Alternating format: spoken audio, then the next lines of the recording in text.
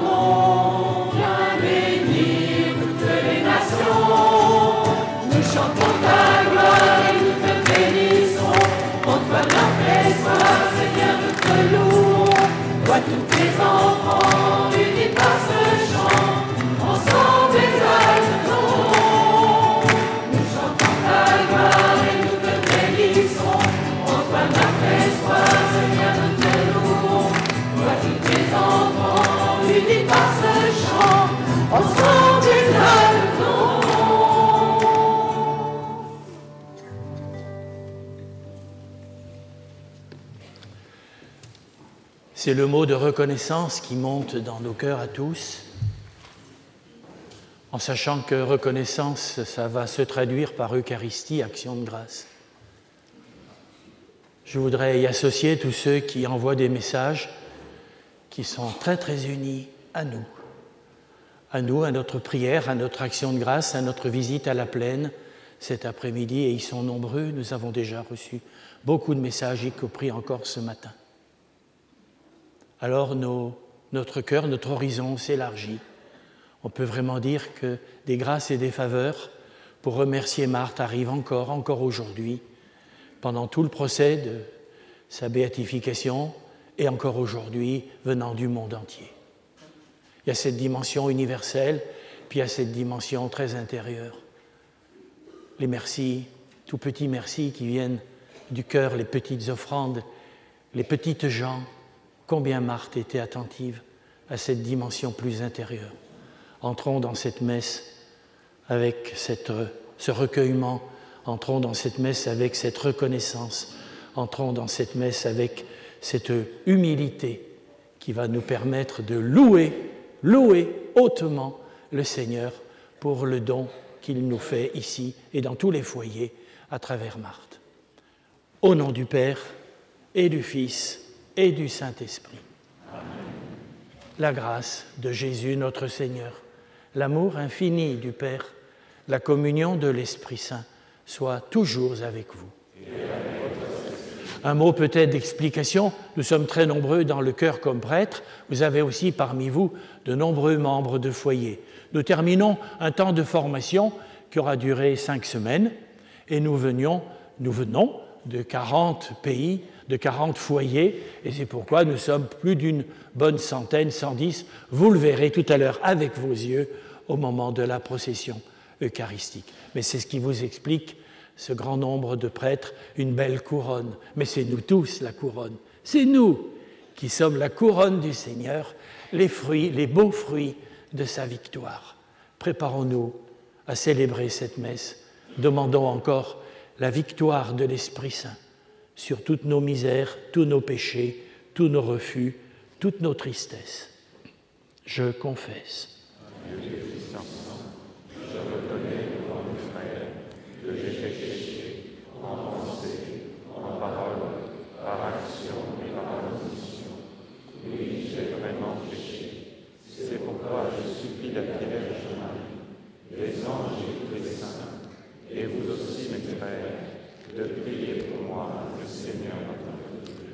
Que Dieu Tout-Puissant nous fasse miséricorde, qu'il nous pardonne nos péchés, qu'il nous conduise à la vie éternelle.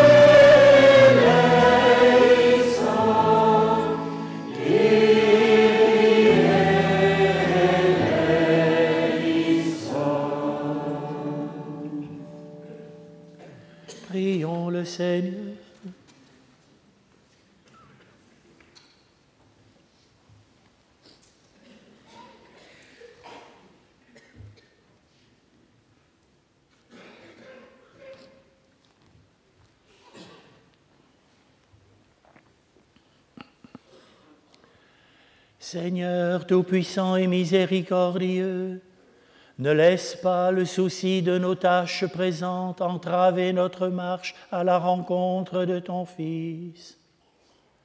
Mais éveille en nous cette intelligence du cœur qui nous prépare à l'accueillir et nous fait entrer dans sa propre vie, lui qui règne avec toi et le Saint-Esprit aujourd'hui et pour les siècles des siècles.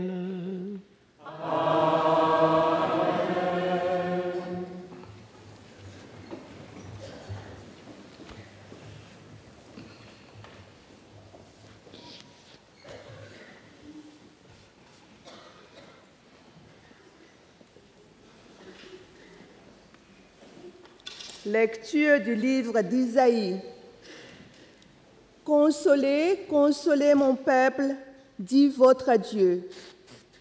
Parlez au cœur de Jérusalem et proclamez que son service est accompli, que son crime est pardonné et qu'il a reçu de la main du Seigneur double punition pour toutes ses fautes. Une voix proclame Préparez à travers le désert le chemin du Seigneur. Tracez dans le terre aride une route aplanie pour notre Dieu. Tout ravin sera comblé, toute montagne et toute colline seront abaissées, les passages tortueux deviendront droits et les escarpements verront changer en plaine. Alors la gloire du Seigneur se révélera et tous en même temps verront que la bouche du Seigneur a parlé. Monte sur honte montagne, toi qui portes la bonne nouvelle à Sion. Élève la voix avec force, toi qui portes la bonne nouvelle à Jérusalem. Élève la voix, ne crains pas. Dites aux villes de Juda, voici votre Dieu. Voici le Seigneur Dieu, il vient avec puissance et son bras est victorieux. Le fruit de sa victoire l'accompagne et ses trophées le précèdent. Comme un berger, il conduit son troupeau, son bras rassemble les agneaux.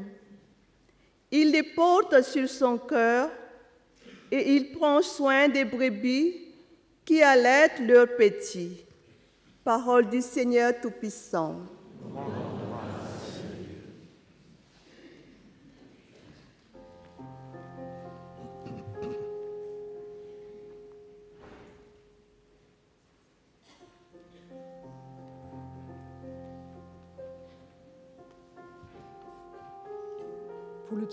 Nous serons invités, vous serez invités à répéter la deuxième partie du psaume.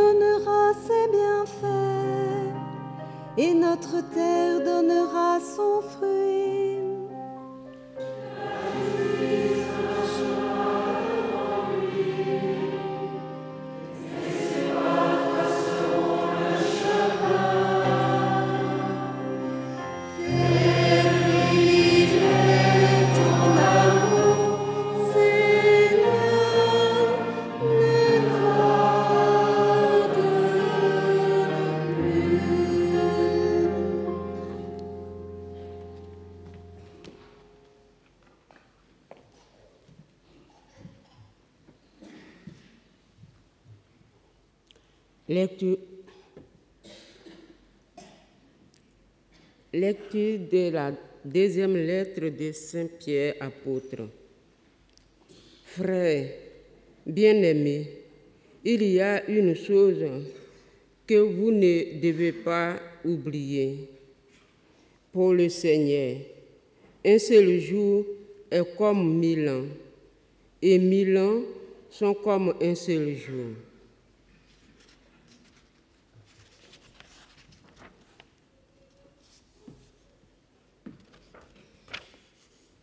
Le Seigneur n'est pas en retard pour tenir sa promesse, comme le pensent certaines personnes. C'est pour vous qu'il patiente, car il n'accepte pas d'en laisser quelques-uns se perdre, mais il veut que tous aient le temps de se convertir. Pourtant, le jour du Seigneur viendra comme un voleur. Alors les cieux disparaîtront avec fracas, les éléments en feu seront détruits. La terre, avec tout ce qu'on y a fait, sera brûlée. Ainsi, puisque tout cela est en voie de destruction. Vous voyez quel homme vous devez être, quelle sainteté de vie, quel respect de Dieu vous devez avoir. Vous qui attendez avec tant d'impatience la venue du jour de Dieu, ce jour où les cieux embrasés seront détruits, où les éléments en feu se désagrégeront, car ce que nous attendons, selon la promesse du Seigneur, c'est un ciel nouveau, une ciel nouvelle, on résidera la justice. Dans l'attente de ce, de ce jour, frères bien-aimés, faites donc tout pour que le Christ vous trouve, trouve net et irréprochable dans la paix. Parole du Seigneur.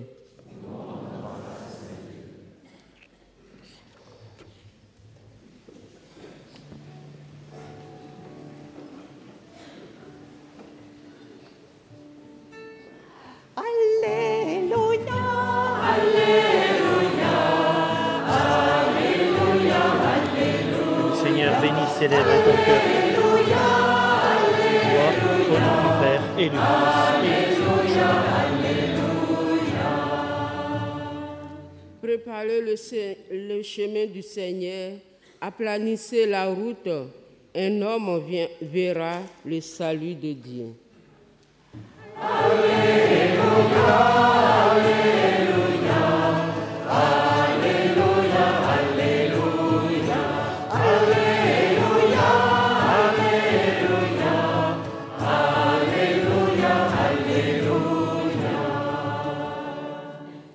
Le Seigneur soit avec vous. Évangile de Jésus-Christ selon sa Marc.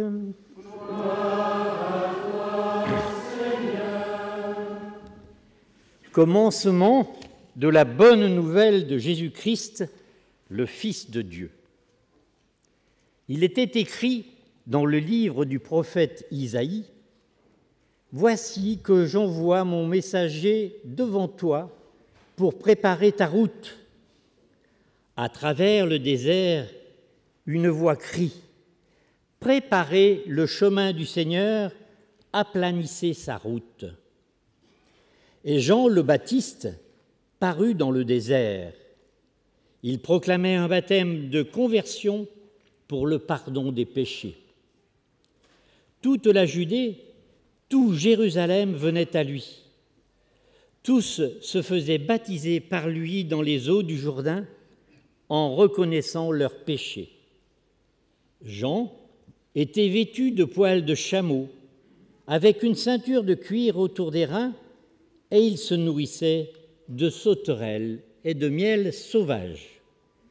Il proclamait Voici venir derrière moi celui qui est plus puissant que moi je ne suis pas digne de me courber à ses pieds pour défaire la courroie de ses sandales.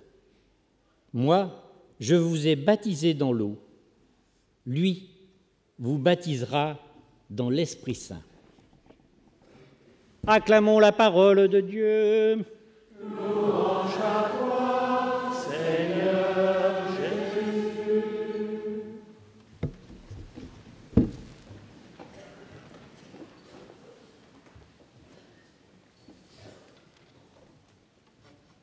Frères et sœurs,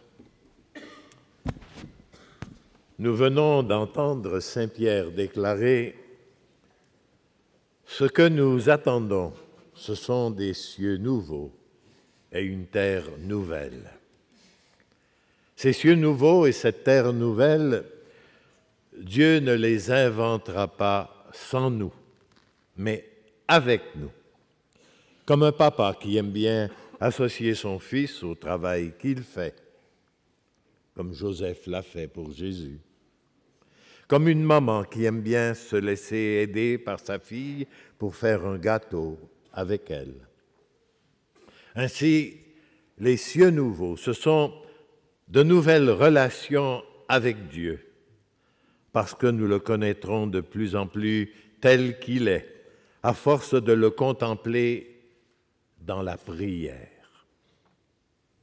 Et cette terre nouvelle sera nouvelle non pas parce que nous aurons inventé une foule de nouveaux gadgets extérieurs pour communiquer, ou de nouveaux robots pour ne pas avoir besoin du service les uns des autres, mais parce que nous nous aimerons davantage, parce que nous développerons davantage toutes les ressources intérieures d'amour que Dieu a mises en nous pour mieux nous apprécier et travailler ensemble au bonheur de tous, à commencer par les plus pauvres, les plus faibles, les plus petits.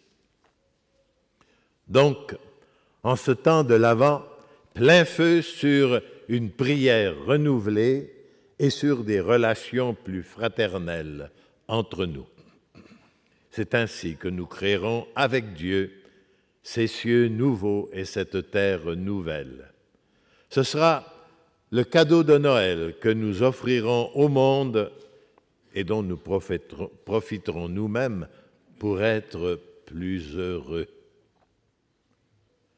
Les textes de la première lecture et de l'Évangile nous invitent également à préparer ces chemins par lesquels le Seigneur veut nous faire ses cadeaux. Ce Dieu qui vient nous sauver, il est tout amour. Isaïe le présente déjà comme le bon berger qui conduit son troupeau. Son bras rassemble ses agneaux, il les porte sur son cœur et il prend soin des brebis qui allaitent leurs petits. Quelle tendresse ce berger pour de simples animaux. Alors imaginez un peu la merveilleuse délicatesse de l'amour de Dieu pour nous, pour chacun, chacune de nous. Mais n'oublions pas de préparer les chemins qui inviteront Jésus à venir visiter nos cœurs. Jean-Baptiste y a travaillé avec ardeur jusqu'à le payer de sa vie dans les prisons d'Hérode. Ce Jésus, ce Christ, ce Messie, qu'il avait d'abord imaginé comme le lion de Judas, qui vient avec puissance et fracas nettoyer la maison de Dieu, voici qu'après l'avoir baptisé, Jean-Baptiste le comprend mieux et le présente autrement, en disant, Voici l'agneau de Dieu qui enlève le péché du monde en le prenant sur lui. Ainsi, sans trop comprendre encore tout ce qu'il annonce, Jean présente déjà Jésus dans sa vraie mission, qui n'est pas faite de puissance qui écrase, mais d'amour et de vérité qui change les cœurs. Telle fut sa façon à lui, Jean, de préparer les chemins du Seigneur, en ajoutant que Jésus allait baptiser le monde, allait le plonger dans l'Esprit Saint, comme cela s'est réalisé le jour de la Pentecôte. Eh bien, chacun, chacune de nous a aussi comme mission de préparer les chemins du Seigneur. Prenons quelques instants ce matin pour voir comment notre petite sœur Marthe a préparé les chemins du Seigneur en travaillant à le faire connaître, à le faire aimer. Le Père Michon, juste avant la messe, a déjà bien parlé avec amour et compétence. Et cela allume dans nos cœurs le désir de remercier Dieu de tout ce qu'il a voulu accomplir en Marthe, par elle et avec elle. C'est même la première intention que nous avons en célébrant cette Eucharistie. Oui, merci Seigneur d'avoir inspiré à ton Église de reconnaître l'héroïcité des vertus de Marthe en la déclarant vénérable. Vénérer Marthe, cela signifie bien plus qu'applaudir des champions idoles du sport ou de la chanson. Être déclaré vénérable, c'est bien d'autre chose que le titre que se donnent les présidents de loges maçonniques. Être déclaré vénérable pour Marthe. C'est être présenté par l'Église sous l'inspiration de l'Esprit Saint comme un exemple pour tout le peuple chrétien afin de l'entraîner jusqu'au sommet de la sainteté. La vraie montagne à gravir, le vrai trophée du podium éternel. Et en même temps que nous remercions Dieu de ce qu'il a fait en nous donnant Marthe comme modèle de vie chrétienne, nous le prions aussi d'y ajouter le sceau de son pouvoir de faire l'impossible à travers le miracle qui a déjà été présenté à Rome pour que Marthe soit déclarée bienheureuse. De toute façon, nous pouvons déjà demander à Marthe de réaliser en nous, avec la grâce de Dieu, son rêve de jeunesse. Ce rêve qu'elle exprimait quand elle demandait le 2 février 1932, que Dieu fasse de moi un foyer pour purifier et embraser les âmes. Voilà le premier foyer de charité allumé à Châteauneuf. Regardons Marthe brûlée d'amour et cherchons à imiter son ardeur. Deux semaines plus tard, le 15 février, Marthe ajoutait il est loin le temps où je demandais à Jésus de me détacher de tout et de me prendre, de m'unir à lui, de me perdre en lui et de m'y garder. Maintenant, sa vie est tellement ma vie, l'âme de ma vie, que j'ai besoin de m'en arracher sans cesse pour me prêter à tout. Ce n'est plus moi qui suis, c'est Jésus qui est présent en moi, présent, pleinement en moi c'est l'âme et la vie de ma vie. Souvent, dit-elle, un simple rappel de tendresse, un élan du cœur, le seul nom du bien-aimé me fait sentir aussitôt le bonheur si pur de sa présence et suffit pour que je connaisse la plus douce intimité. Le cœur de mon bien-aimé bat dans mon cœur. Puissante merveille et tellement vraie plus vrai que tout ce que je connais, sais ou vois, que tout ce que je pourrais en dire. Ma vie continue à être un bienfait, un miracle de tous les jours, une bénédiction, une miséricorde sans fin. Mon Dieu, vous me rendez trop heureuse dans mes souffrances. Aimer est déjà assez bon, bien assez beau. Et aussitôt, Marthe pense à nous qu'elle a mission de purifier et d'embraser et d'entraîner au ciel. Si bien que le lendemain, elle s'écrie Ô troublante et ravissante grandeur de Dieu, j'ai vu l'amour, la lumière, les consolations, les grâces, les bienfaits du Seigneur pleuvoir sur le monde, plus serré, plus pressé que la pluie, que les, plus, que les puissants rayons d'un soleil de midi dans son amour de Père, Dieu met dans notre cœur à tous des grâces de lumière et de force pour nous retirer de l'abîme, pour nous attirer à lui et nous transformer dans la lumière. Oserais-je le dire, continue Marthe, les hommes vivent en pleine fournaise d'amour et ils restent froids. Ils portent en eux ce grand trésor de l'amour et ils n'aiment pas. Ils sont inondés d'inspiration céleste et ils les négligent. Ils sont favorisés de toutes les grâces spirituelles nécessaires pour connaître la vérité qui sauve et fait vivre, et ils la repoussent. Ils sont aimés et ils ne le savent pas. Oui, Dieu aime les hommes d'un amour infini et les hommes blessent son amour infini. Le monde est plein d'aveugles et de, super, de, superbes et qui demandent la lumière en se tournant du côté de l'ombre, qui disent vouloir aimer en fermant obstinément leur cœur à l'unique et véritable amour, à celui qui seul peut les pénétrer, les éclairer, les rassasier, leur mettre des ailes. Mais on sent l'amour trop pur et on le refuse.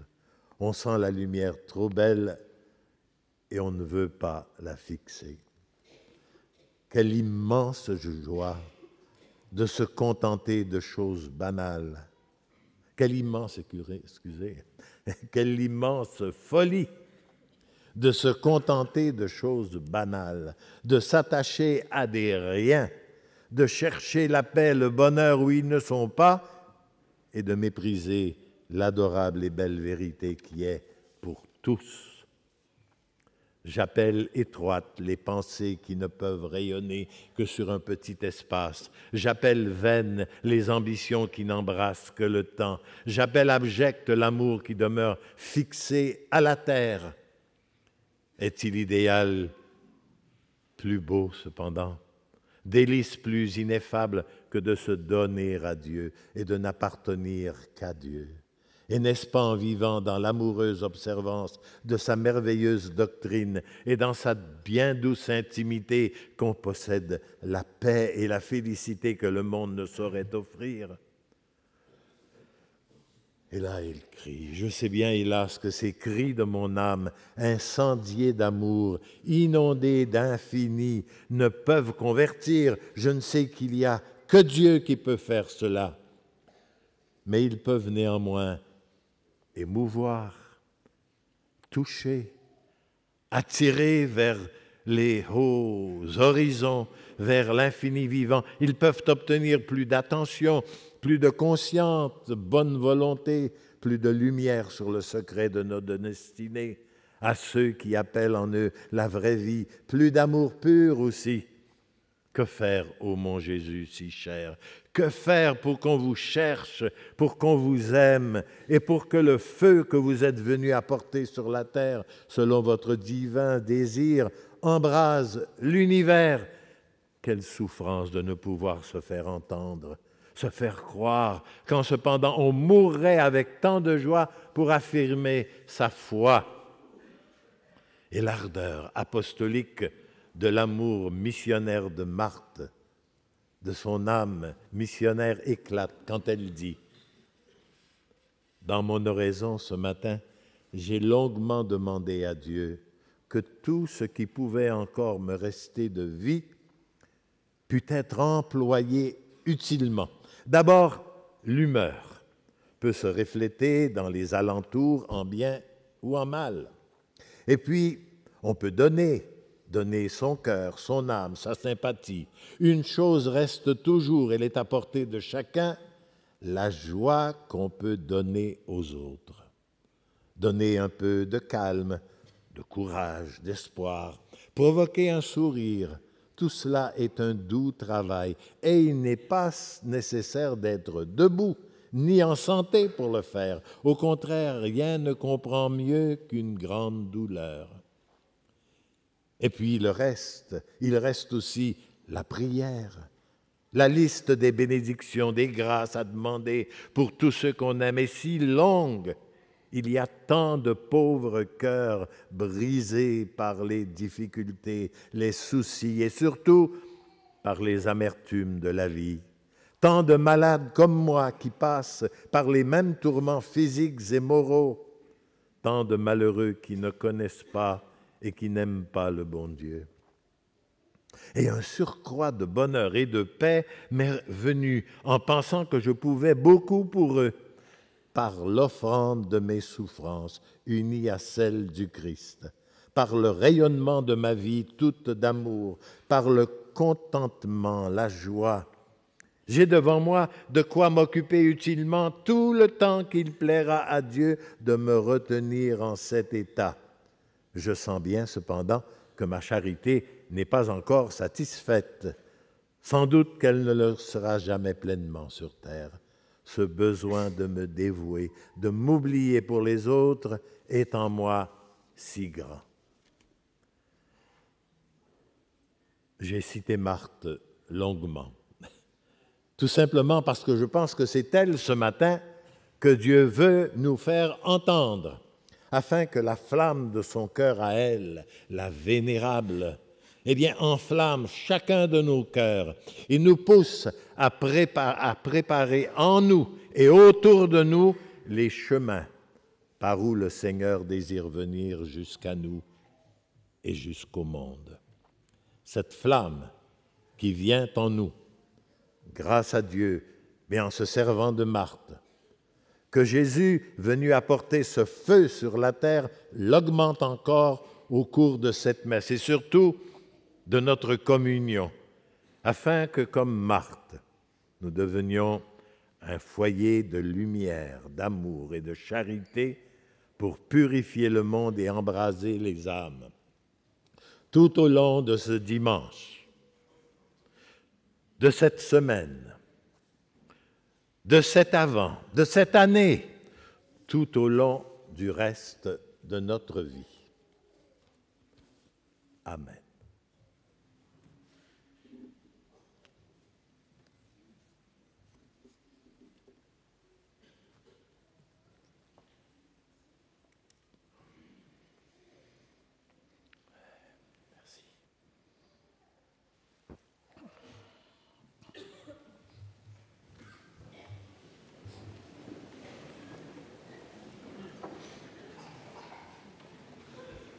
Nous allons alterner le credo entre les prêtres et le reste de l'Assemblée et les tribunes, pour que notre ainsi affirmation de foi soit dialoguée et monte vers Dieu.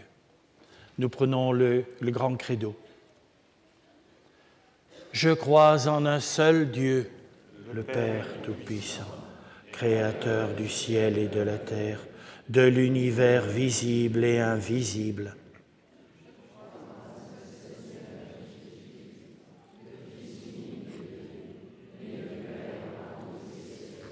Il est Dieu né de Dieu, lumière née de la lumière, vrai Dieu né du vrai Dieu.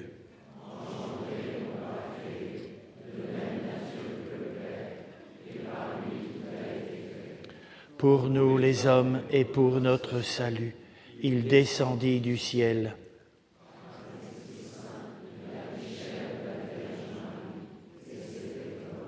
Crucifié pour nous sous Pilate, il souffrit sa passion et fut mis au tombeau.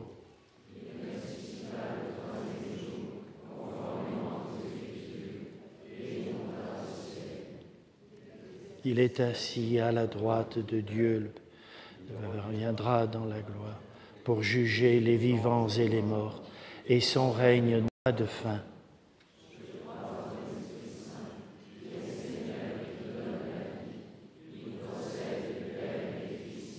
Avec le Père et le Fils, il reçoit même adoration et même gloire.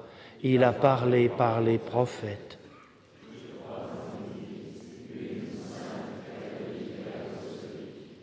Je reconnais un seul baptême pour le pardon des péchés. J'attends la résurrection des morts et la vie du monde à venir.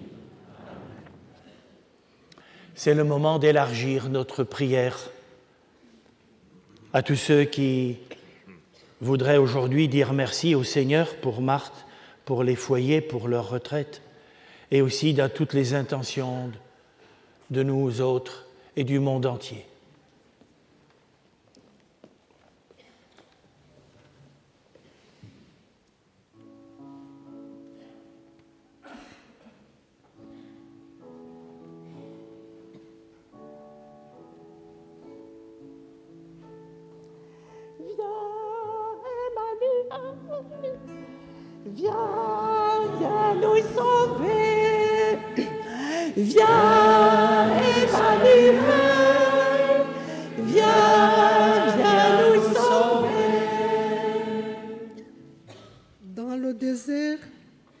Préparez le chemin du Seigneur.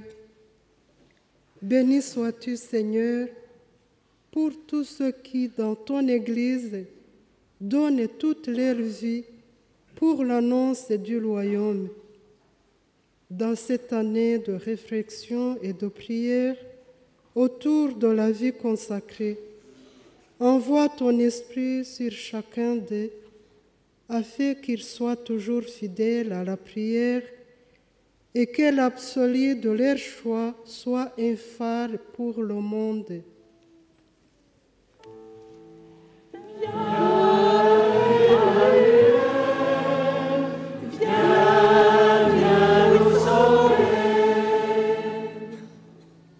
amour et vérité se rencontrent. Justice et paix s'embrassent. Béni sois-tu, Seigneur, pour tous les artisans de paix qui luttent, parfois au risque de leur vie, pour plus de justice dans notre monde. Envoie sur eux ton esprit de lumière et de force pour qu'ils poursuivent leur mission avec assurance. Préserve-les du découragement devant les obstacles qu'ils rencontrent. Éclaire leurs décisions afin qu'elles portent un fruit de paix durable.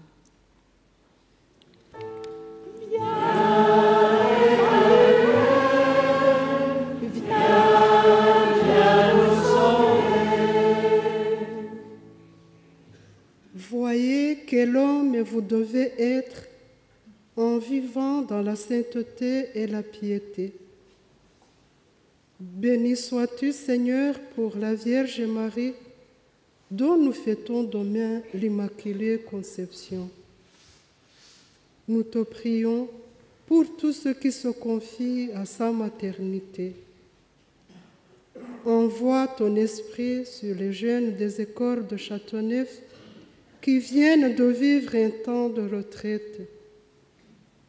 Envoie ton esprit sur tous les jeunes qu'ils accueillent sous le regard de Marie ta présence dans leur vie. Envoie ton esprit sur leurs familles et leurs éducateurs.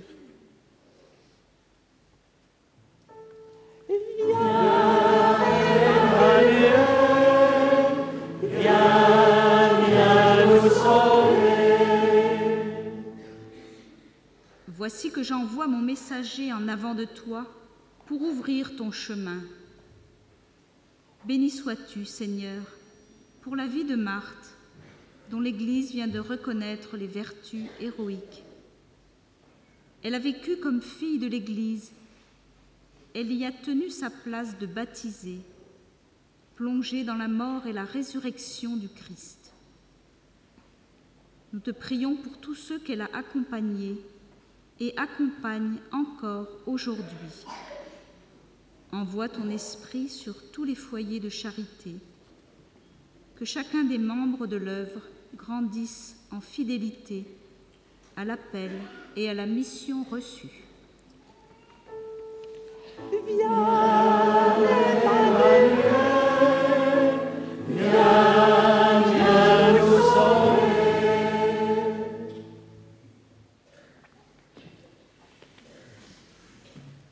Viens Seigneur Emmanuel, écoute, accueille nos prières dans ton cœur de Père et daigne les exaucer par Jésus, le Christ, notre Seigneur. Veuillez vous asseoir. C'est le moment de la quête et ça va être aussi le moment de l'offrande. Je ne viens pas d'abord vous demander d'être généreux. Je viens vous demander d'abord de vous mettre tout entier dans ce que vous donnerez dans la quête. Car la quête n'a pas d'abord une dimension humanitaire, euh, de secours pour ceux qui sont dans le besoin. C'est vrai. Mais le sens premier de la quête, c'est d'être offert à Dieu. C'est vous-même qui vous offrez à Dieu. C'est tellement Marthe, ça. Voilà pourquoi offrez votre personne en hostie, vivante, sainte, agréable à Dieu.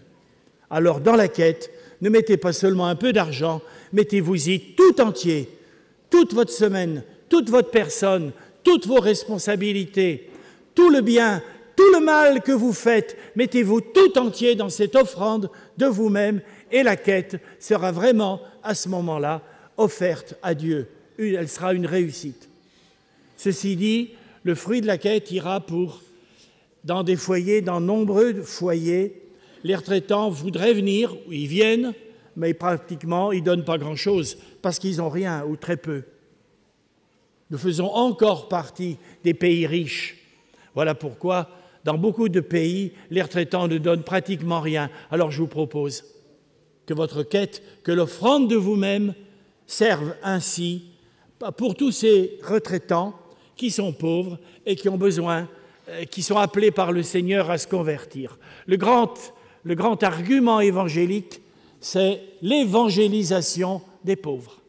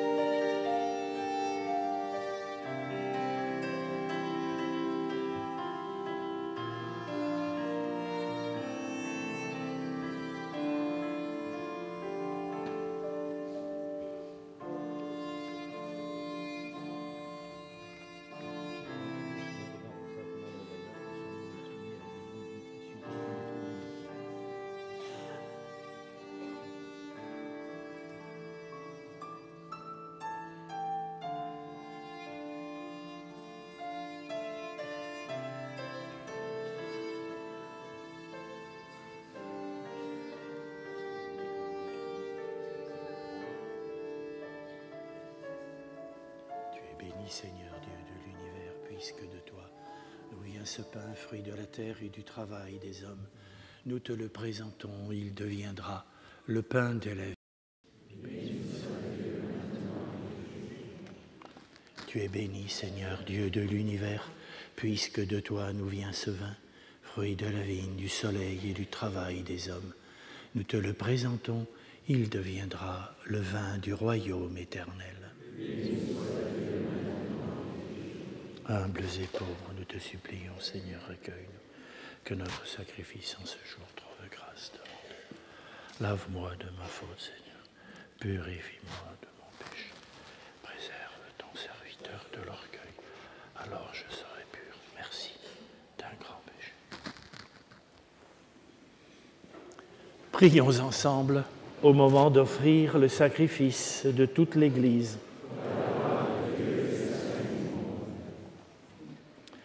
Laisse-toi fléchir, Seigneur, par nos prières et nos pauvres offrandes. Nous ne pouvons pas invoquer nos mérites. Viens, par ta grâce, à notre secours. Par Jésus le Christ, notre Seigneur. Le Seigneur soit avec vous. Élevons notre cœur. Rendons grâce au Seigneur notre Dieu.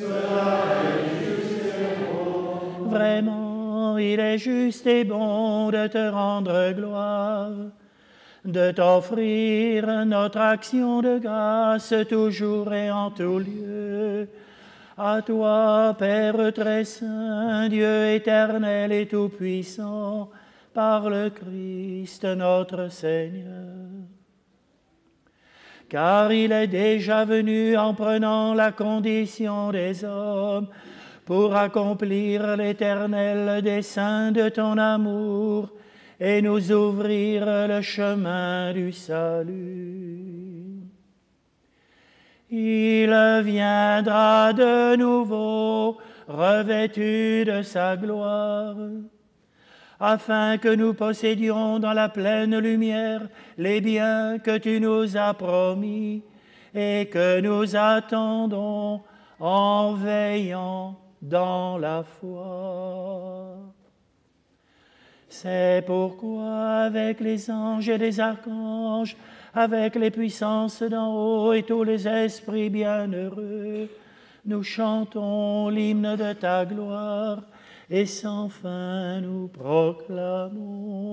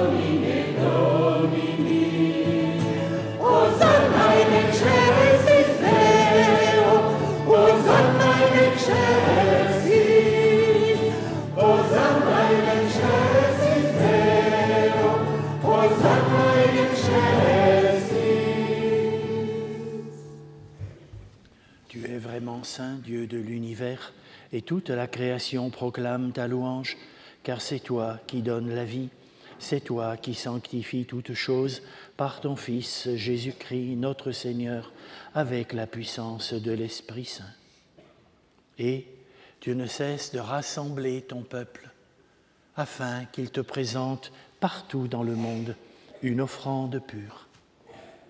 C'est pourquoi nous voici rassemblés devant toi et dans la communion de toute l'Église, en ce premier jour de la semaine, nous célébrons le jour où le Christ est ressuscité d'entre les morts. Par lui que tu as élevé à ta droite, Dieu Tout-Puissant, nous te supplions de consacrer toi-même les offrandes que nous apportons.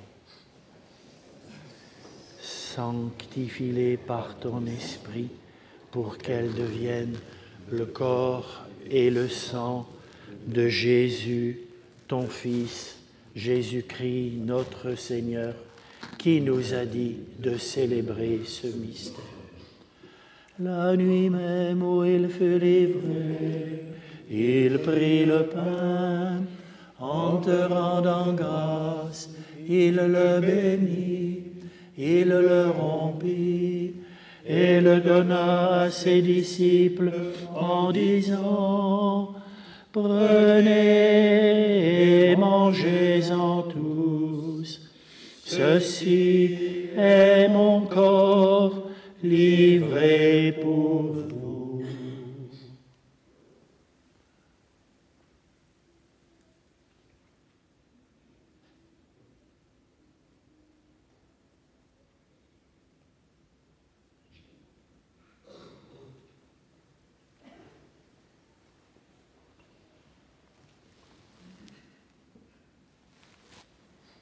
Même, à la fin du repas, il prit la coupe, en te rendant grâce, il la bénit et la donna à ses disciples en disant, Prenez et buvez-en tous, car ceci est la coupe de mon sang, le sang de l'alliance nouvelle et éternelle, qui sera versé pour vous et pour la multitude en rémission des péchés.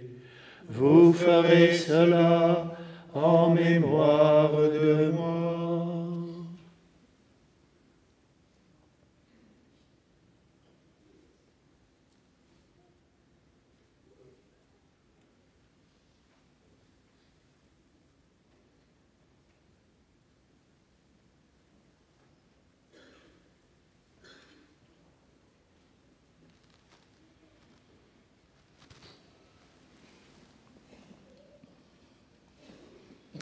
Il est grand le mystère de la foi.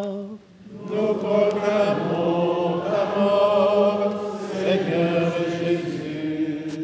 Nous célébrons ta résurrection. Nous attendons ta venue dans la gloire. En faisant mémoire de ton Fils, de sa passion qui nous sauve, de sa glorieuse résurrection et de son ascension dans le ciel, alors que nous attendons son dernier avènement, nous présentons cette offrande vivante et sainte pour te rendre grâce. Regarde, Seigneur, le sacrifice de ton Église et daigne y reconnaître celui de ton Fils qui nous a rétablis dans ton alliance quand nous serons nourris de son corps et de son sang et remplis de l'Esprit Saint, accorde-nous d'être un seul corps et un seul esprit dans le Christ. Que l'Esprit Saint fasse de nous une éternelle offrande à ta gloire, pour que nous obtenions un jour les biens du monde à venir, auprès de la Vierge Marie, la bienheureuse Mère de Dieu, auprès de Saint Joseph, avec les apôtres, les martyrs, Saint Ambroise et tous les saints qui ne cessent d'intercéder pour nous. Et maintenant, nous te supplions, Seigneur, par le sacrifice qui nous réconcilie avec toi, étends au monde entier le salut et la paix. Affermis la foi et la charité de ton Église au long de son chemin sur la terre. Veille sur ton serviteur, le pape François, et notre évêque Pierre-Yves, l'ensemble des évêques, les prêtres, les diacres et tout le peuple des rachetés. Écoute les prières de ta famille assemblée devant toi et ramène à toi, Père très aimant, tous tes enfants dispersés. Pour nos frères défunts, pour les hommes qui ont quitté ce monde et dont on connaissait la droiture. Nous te prions, reçois-les dans ton royaume, où nous espérons être, connaître de toi gloire, tout ensemble et pour l'éternité, par Christ notre Seigneur, par qui tu donnes au monde toute grâce et tout bien. Par lui, avec lui et en lui, à toi, Dieu le Père Tout-Puissant, dans l'unité du Saint-Esprit, tout honneur et toute gloire pour les siècles des siècles.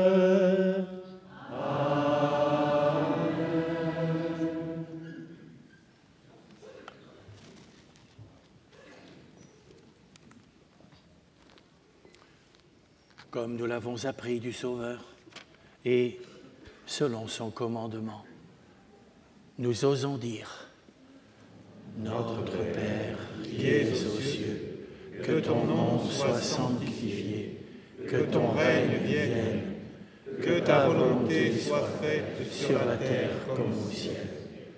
Donne-nous aujourd'hui notre pain de ce jour. Pardonne-nous nos offenses, comme nous pardonnons aussi à ceux qui nous ont offensés, et ne nous soumets pas à la tentation mais délivre-nous du mal. Délivre-nous de tout mal, Seigneur, et donne la paix à notre temps, à notre terre. Par ta miséricorde, libère-nous du péché. Rassure-nous devant les épreuves. En cette vie où nous espérons le bonheur que tu promets et l'avènement de Jésus-Christ, notre Sauveur. Car c'est à toi qu'appartiennent le règne, la puissance et la gloire pour les siècles des siècles. Seigneur, Jésus, Christ, tu as dit à tes apôtres, je vous laisse la paix, je vous donne ma paix. Ne regarde pas nos péchés, mais la foi de ton Église.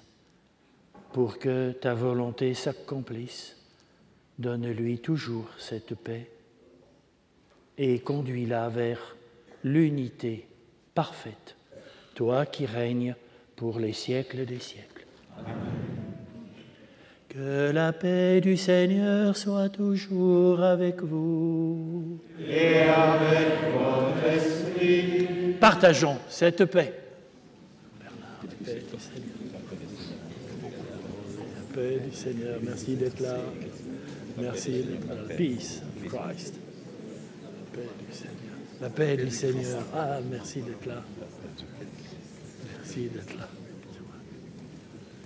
Patrick, la paix, merci d'être là.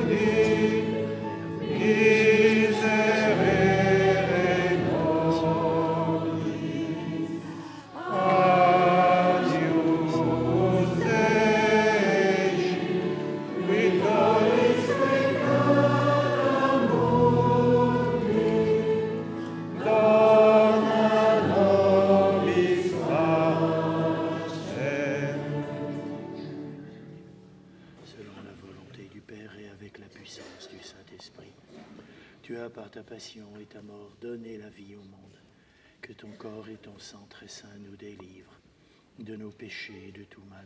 Fais que nous demeurions fidèles à tes commandements, que jamais nous ne soyons séparés de toi. Heureux les invités au repas du Seigneur. Voici l'agneau de Dieu qui enlève le péché du monde. Seigneur, je ne suis pas digne de te recevoir, mais dis seulement une parole et je serai guéri corps du Christ nous garde pour la vie éternelle. Amen.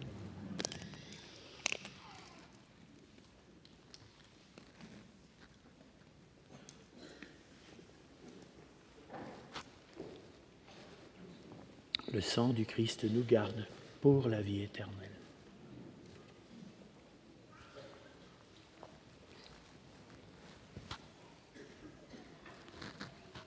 La communion sera portée aux personnes de la tribune.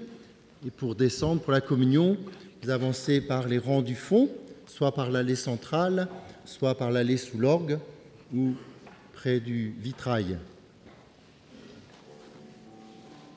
Voici le corps du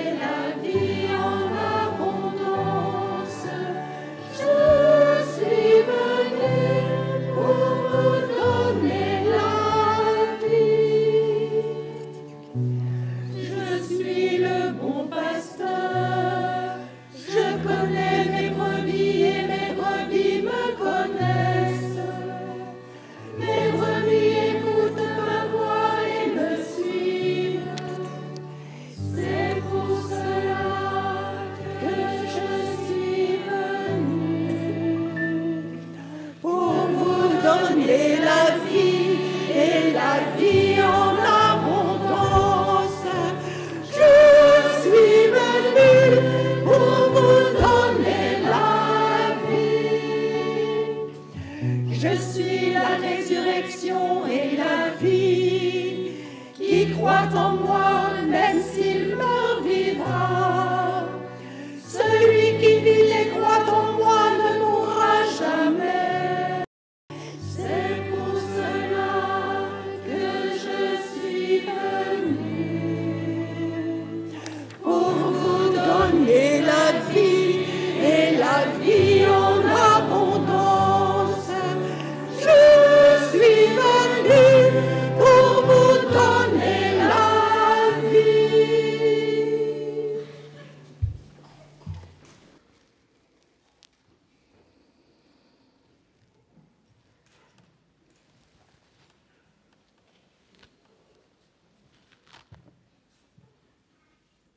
action de grâce, en action de grâce.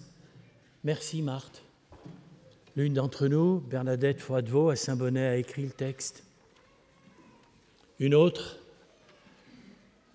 Anne-Marie Ebner, a écrit la musique. Non, non, Et M. Darboret à Saint-Bonnet l'a harmonisé. non, non. C'est n'est pas leur chant, c'est le nôtre, de tous les foyers. Et c'est le merci de vous et de tous ceux qui se joignent à nous pour dire merci à Marthe. Dans le prolongement de l'action de grâce, comme en chantant à plein cœur, du dedans de nous-mêmes, nous disons merci au Seigneur, merci à la Sainte Vierge, merci à Marthe. Alors c'est Jean Bernard qui a écrit la musique. Je m'attribue pas du tout cela. Quand on entrait chez vous, un peu intimidé, votre simplicité faisait presque oublier que le ciel était là et les anges et les saints, vous étiez bien présente, attentive à chacun pour votre vie si claire, votre joie lumineuse, source limpide d'enfer, aux âmes assoiffées. On arrivait bien lourd, on partait relevé. On avait déchargé sur vous tous les fardeaux. Marthe, comment vous dire merci? Marthe, comment vous dire merci? Marthe, comment vous dire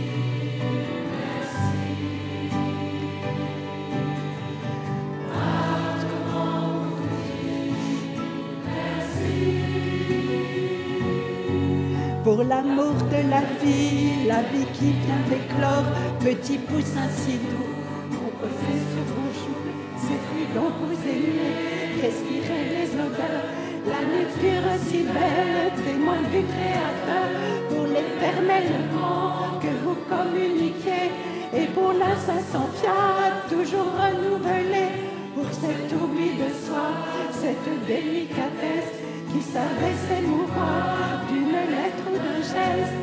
Marthe, comment vous dire? Merci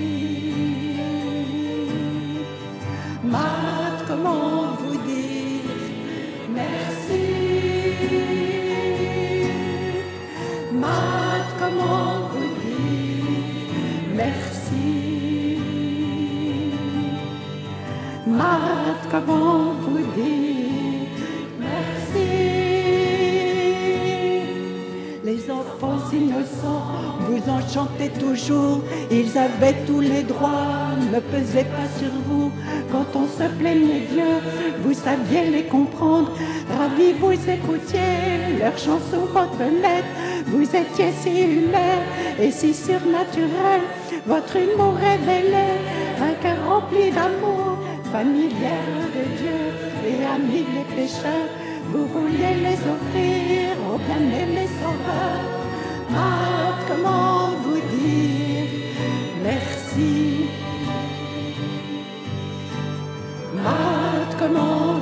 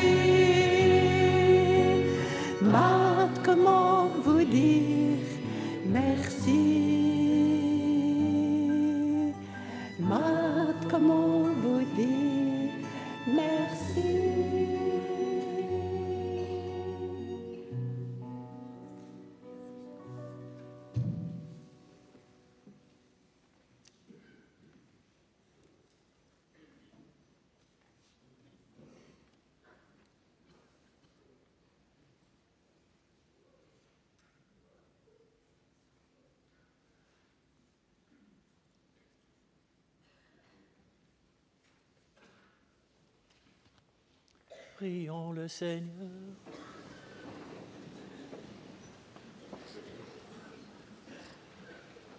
Plein de reconnaissance pour cette Eucharistie, nous te prions encore, Seigneur. Apprends-nous dans la communion à ce mystère le vrai sens des choses de ce monde et l'amour des biens éternels par Jésus le Christ notre Seigneur. Le Seigneur soit avec vous. Et avec votre esprit. Vous croyez que le Fils de Dieu est venu en ce monde et vous attendez le jour où il viendra de nouveau, à la clarté de cette lumière qui lève, que Dieu son Père vous guide en toutes vos démarches et qu'il multiplie sur vous ses bénédictions. Qu'il rende ferme votre foi, joyeuse votre espérance, constante votre charité. La venue du Rédempteur, pauvre parmi les pauvres, est déjà pour vous une grande joie quand il apparaîtra dans toute sa gloire, qu'il vous ouvre le bonheur sans fin et que Dieu Tout-Puissant vous bénisse, le Père, le Fils et le Saint-Esprit. Quelques annonces et l'Angélus. D'autres petites informations. Le nouveau CD avec les paroles de Marthe que nous venons de chanter, interprété par la chorale des trois écoles du foyer, sous la direction d'Anne-Marie et la composition de Jean Bernard, ici présent. Ce CD vous sera proposé à la sortie, à droite et à gauche, dans le narthex. On vous le propose au prix de 12 euros. Et à l'épuisement du stock, n'ayez pas peur, vous pourrez le commander. Et nous vous l'enverrons par la poste au prix de 12 euros. Les frais de port vous sont offerts. Donc vous trouverez à droite et à gauche à la sortie. Le dernier numéro de l'Alouette, dont le Père Michon nous a parlé un petit peu tout à l'heure, contenant dix pages sur l'actualité de Marthe Vénérable, avec des articles du Père Pérouse, le postulateur, et du Père Michon, vous sera aussi proposé à la sortie sur la gauche. Vous trouverez ce numéro de l'Alouette à 6 euros. Je voudrais remercier le Père Baudry. C'est lui qui a donné l'homélie avec toute sa ferveur euh, Pendant 40 ans, il a mis en route le foyer de charité à Port-au-Prince. C'est magnifique. Et il nous a parlé de Marthe avec tout son cœur. Et, et Marthe elle-même est pleine de son cœur. Elle compare euh, l'amour du Seigneur à une pluie, une pluie généreuse et féconde. Je pense que ça peut se traduire, ça aussi, au désir. Dans le désir aujourd'hui, peut-être de recevoir le pardon de vos péchés. Ça a commencé ce matin. C'est souvent un désir que l'Esprit Saint met en nos cœurs. Un désir de réconciliation avec Dieu, un désir d'aimer, d'aimer davantage, de demander pardon pour aimer davantage. Alors sachez que tous ces prêtres seront disponibles. Tous. On pourrait peut-être convenir à partir de 15h30, après le repas, après le DVD, à la fin du chapelet. Mais n'hésitez pas, ils sont là. Ce sont des hommes de miséricorde, ils sont faits pour ça. Leur bonheur, c'est de vous donner Dieu. Ben, profitez-en. Je crois que c'est tout. J'ai rien oublié. J'ai failli oublier le diacre pour la paix. C'est lui qui nous, qui nous envoie maintenant dans la paix. Nous nous levons. Si, si, si, si, j'ai oublié. Les fêtes continuent. Demain, bien sûr, c'est le 8 décembre, l'Immaculée Conception. Ici, au foyer, c'est la, la fête des trois écoles. Et tous les élèves ont préparé ça par deux jours de retraite la semaine dernière. Donc, demain, lundi, nous aurons grand moment dans la matinée avec tous les élèves des trois écoles à 10h15. Et puis le soir, c'est une coutume qui s'est répandue dans la vallée et qui est très belle. C'est une procession qui démarre dans l'église de Châteauneuf, pas ici, qui démarre dans l'église de Châteauneuf et qui monte et qui s'arrête devant Notre-Dame du Foyer et qui arrive ici pour une messe à 21h. C'est la joie aussi d'avoir parmi nous notre curé, le Père Bernard Hérault, et c'est lui qui était à ma droite aujourd'hui. Combien il lui faut encore porter une épreuve de santé, mais combien grande est sa joie d'être avec nous et en particulier d'être demain soir à la messe ici au sanctuaire à 21h. Ça y est, je crois que j'ai rien oublié. Le diacre nous envoie tous dans la paix. Allez dans la paix du Christ.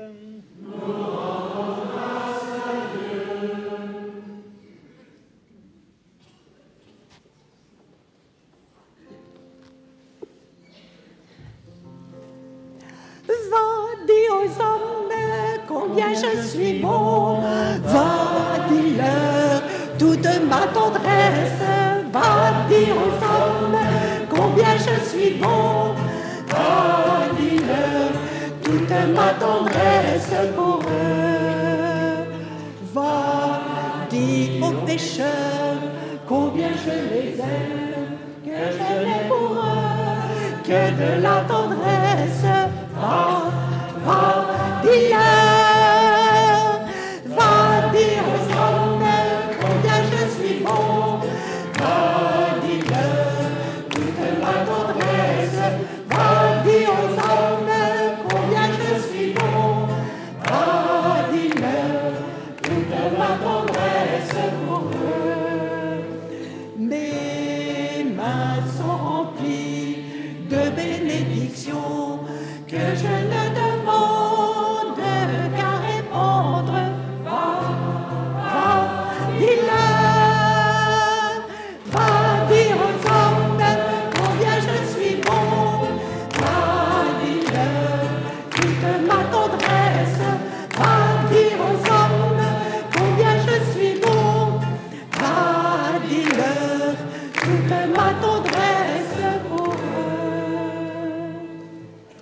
Merci. À défaut de voix, nous y avons mis tout notre cœur.